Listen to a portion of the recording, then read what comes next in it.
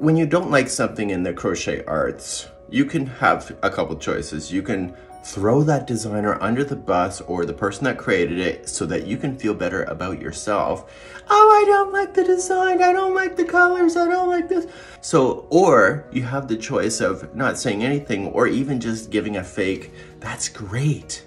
You know, when I think about as a child when you get criticized for something that you're really quite excited about, a parent has the opportunity to really encourage that uh, child to continue to want to create. But it also, if the parent is negative, or in this case social media is negative, it really kind of takes away from the joy of the person that created it in the first place. So you have choices to make. Do you want to make yourself feel better by throwing somebody under the bus? Or do you want to encourage them because maybe they'll come up with something that you prefer down the road?